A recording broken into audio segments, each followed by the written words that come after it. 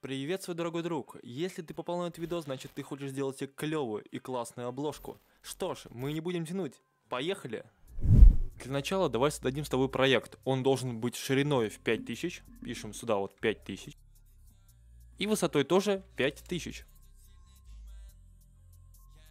Окей, все, мы это сделали. Создаем файл. Так, и появляется у нас такое вот окошечко появляется у нас. Что же дальше? Хм, нам нужны материалы, ребята. Да, нам нужны материалы. Сейчас я покажу, что мы будем сегодня использовать. Итак, я вот захотел сейчас добавить свою фотографию на обложку. И давайте сейчас выберу фотографию, абсолютно любую. Желательно, чтобы там был э, годный фон. Допустим, чтобы его было удобно вырезать впоследствии. Давайте я выберу, наверное, вот эту фотографию. Да, мне это очень понравилось. Э, сохраняем Далее нам нужно будет вырезать фон. Э, ссылку на этот сайт я оставлю в описании, потому что он является одним из самых лучших. Закидываю нашу фотографию.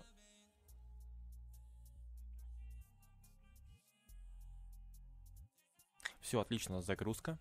Ждем. Все, отлично, наша фотография загружена. Нажимаем скачать. Все, скачано, отлично. Далее ищем рандомный фон. А, мне, допустим, понравился вот этот вот, да? Нажимаем сохранить как, опять же. Сохраняем. Все, отлично. Итого у нас получилась фотография и фон. Переходим в Photoshop. Дальше ищем наши файлики.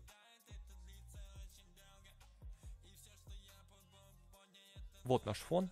Перекидываем сначала фон. Делаем это так вот. Дальше нажимаем зажатым шифтом мы зажатым альтом мы делаем вот такие вот манипуляции. То есть растягиваем на всю площадь. И дальше с шифтом делаем вот таким вот нехитрым способом, растягиваем наше изображение. Нажимаем два раза.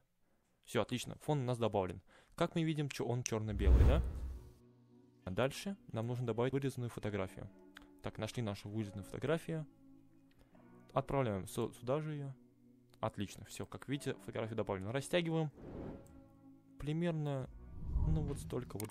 Да, хватит, вот столько вот. Двойным нажатием. Угу. Что мы видим? У нас черный, черно-белый фон и цветная картинка. Но это можно легко исправить. Для этого нажимаем изображение, коррекция, черно-белое. Тадам, ребята, все. Видите, как видите, у нас все поменялось. И э, максимально регулируем, так, чтобы картинка вписывалась в наш фон.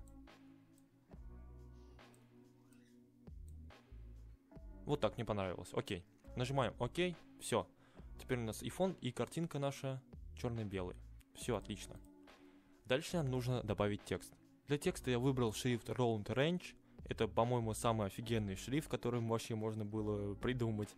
Вот. Э, ссылочку на него, конечно же, ребята, я оставлю в описании. То есть э, все будет нормально. Э, и добавляю наш текст. Допустим, давайте, не знаю, напишем туман. Почему бы нет? Как вы видите, у нас все отлично написалось. Угу. Далее, пред... Далее я предлагаю поменять цвет нашего текста. Для этого мы будем, не будем использовать палитру, а всего лишь э, зайдем на этот сайт, который я тоже оставлю в описании. Найдем черный цвет, все отлично нашли. И видим цвета, с которыми он сочетается. Допустим, мне вот это понравилось. Давайте этот возьмем. Переходим в наш Photoshop, выделяем наш текст, нажимаем вот на это окошечко. А дальше вставляем вот в это окно скопированный заранее номер нашего цвета, нажимаем ОК. Как мы видим, цвет поменялся. Теперь я хочу, чтобы текст был за нашей фотографией. Как это сделать? Все очень просто, ребята. Сначала мы перемещаем наш текст вот сюда, вот так вот немножечко, прям буквально, и просто помещаем его под нашу фотографию. Отлично, теперь мы видим, как наш текст стоит сзади нашей фотографии, а наша фотография находится на главном фоне. Чтобы наша обложка была сочной, нам нужно добавить цветокоррекцию. Ссылку на эту цветокоррекцию я оставлю, ребята, в описании. Вот так вот она выглядит. И давайте теперь подберем понравившийся вот мне понравилось вот это вот. И что мы дальше делаем? Да просто перетягиваем сюда вот и все. Отлично. Как вы видите, у нас эта коллекция поставлена. И теперь можно будет дальше работать. Как мы видим, что у нас осталась только наша черно-белая фотография. Чтобы это исправить, мы просто берем вот этот слой и закидываем после нашей цветокоррекции. Оп, все готово. Теперь я хочу размыть немного фон. Для этого мы нажимаем фильтр, э, размытие, размытие по гауссу и ставим примерно четверочку. Нажимаем ОК. Фотография обработал. Все отлично. Как мы видим, у нас немножечко такой блюр появился. Следующим шагом я хочу объединить все наши слои в одно. Для этого мы нажимаем Ctrl-Alt-E, и как мы видим, у нас появляется новый слой. А чтобы наша обложка не казалась такой скучной, давайте выберем текстуру старой фотографии. Вот это мне понравилось. Сохраняем ее. И перетаскиваем на наш проект. Дальше мы должны ее растянуть. Нажимаем Alt и растягиваем. И вот таким макаром. Нажимаем два раза. Далее вот здесь сверху окошечко будет. Нужно нажать экран. И непрозрачность 27 давайте вот даже оставим. Чтобы наша текстура так сильно не выделялась, нам нужно ее сделать за цветкор. Все, отлично. Еще я хочу написать ник. Пишем вот сюда вот наш любой ник. Желательно шифтом, ребят.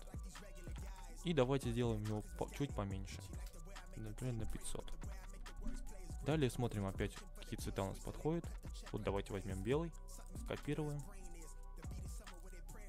выделяем. Сюда вот опять же вставляем. Окей. Все, текст у нас помененный. Теперь я хочу добавить эффектов, чтобы наша обложка не была такой серой. Вы можете использовать абсолютно любые, скачать с Яндекса, это особой роли не сыграет. Возьмем вот такой вот, чисто как подсветка будет. Растягиваем по необходимости. Давайте вот так вот сбоку его даже поставим. Вот так вот, чтобы он еле заметно было. Нажимаем два раза на это окошечко и кнопочку вниз нажимаем. Давайте только это оставим затемненное такое будет. Еще можно эффектик один добавить. Давайте добавлю молнию, почему бы нет. Давайте вот, вот так добавим, типа с неба молния будет идти. Будет достаточно прикольно. Далее нам нужно эту молнию, чтобы она не сильно выделялась, за фотографию поставить. И за текст. Опять по этому кранчику и ищем более подходящий для нас вариант. Мне, допустим, понравился вот этот вот, да? Теперь можно переходить к сохранению. Нажимаем файл, сохранить как. Тут выбираем JPEG и сохраняем. Здесь выбираем качество. Допустим, я оставлю вот высокое на девяточке. Нажимаем ОК. Ждем, когда вот это загрузится. Все, наш проект сохранен. Ну вот, что у нас в итоге получилось. Ну что ж, дорогой друг, надеюсь, тебе все получилось. А если нет, то я оставлю PSD файл в описании, чтобы ты мог сделать такую же обложку, но уже по шаблону и свою. Надеюсь, вам понравилось. Поставьте лайк, подпишитесь на мой канал. Всем удачных релизов. Пока-пока.